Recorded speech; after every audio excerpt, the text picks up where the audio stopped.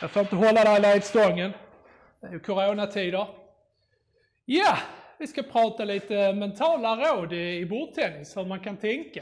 Eh, det, det första rådet vi har här nu i kvällens avsnitt, det är ju när man spelar match. Så kan man ju tänka så här att allt som sker innanför barriären kan jag påverka. I varje fall det mesta. Men utanför är lite svårt och utanför barriärerna är det lite svårare att, att påverka.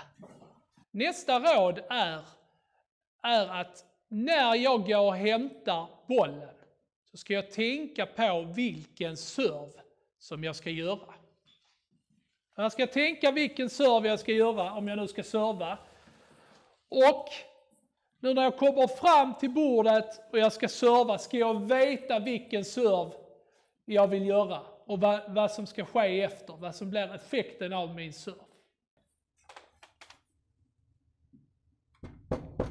Давай, пожалуйста.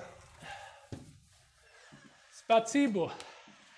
Eh, sista, sista rådet eh, för dagens avsnitt är att tänk att det står nio lika i varje situation, både på match och i träningssituation. Pröva nu att eh, jobba med de här mentala, mentala råden, både på träningar och matcher och se om det är någonting som passar ert tänk. Varje spelares tänk är väldigt eh, unikt. Så det gäller att hitta något som passar er. Men, men pröva er fram. Här har ni några eh, riktmärken som ni kan jobba efter. Pingis!